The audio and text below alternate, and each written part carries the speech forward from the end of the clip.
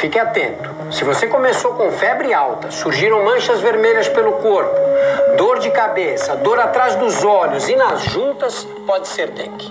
Procure logo um posto de saúde e beba muito líquido. Faça repouso e só use medicamentos receitados pelo médico. Se esses sintomas forem acompanhados de sangramento e dor de barriga, procure imediatamente um hospital. Dengue, se você agir, podemos evitar.